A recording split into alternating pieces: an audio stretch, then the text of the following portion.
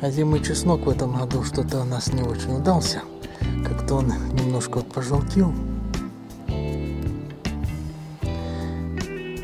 Поэтому я решил его удобрить вот таким вот удобрением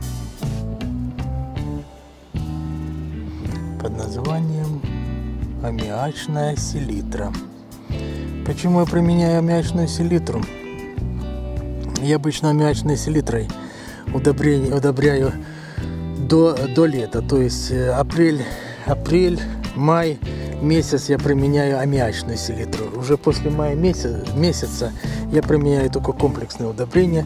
Э, Почему аммиачную селитру? Потому что она дает прирост вот этой всей зеленой массе и э, всем растениям, которые придает зеленый вид и нарастает масса для того, чтобы летом вот эта вот зеленая масса укрывала землю, которую растет от палящего солнца.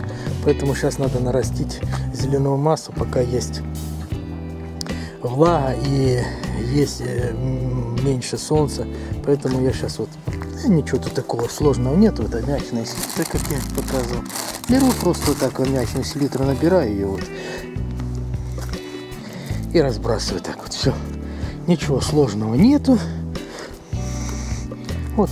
Можно, конечно, можно, конечно, взять, растворить и полить это. Ну, это дело, дело, как говорится, хозяйское. Я, я так, например.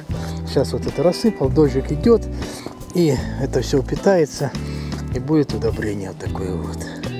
Вот так я удобряю озимый чеснок.